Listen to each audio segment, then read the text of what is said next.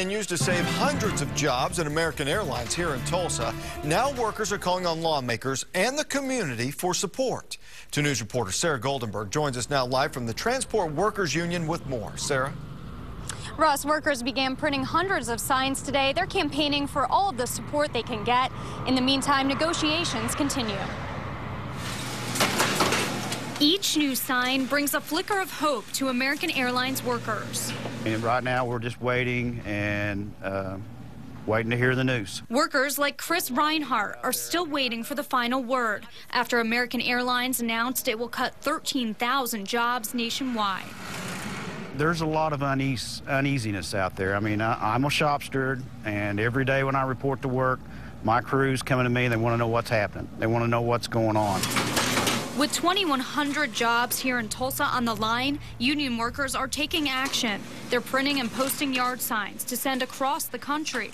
And so far, more than 15,000 people have pledged their support at isupportamericanjobs.com. We're hoping that the more support we can get will help to uh, better influence that process to, to come to terms with something we call, that, that we can all live with. Aircraft mechanic Jack Higginbottom has been through this drill before. He was laid off by American Airlines in 2003 and returned to the company two years ago. One day you, you feel pretty comfortable in your future, and the next day, you know, the company's filed bankruptcy and and you start kind of looking at your finances and your, your plans for the future. And a lot of, I know mine have changed. In a statement, American Airlines says it is, quote, committed to preserving thousands of quality jobs in Tulsa.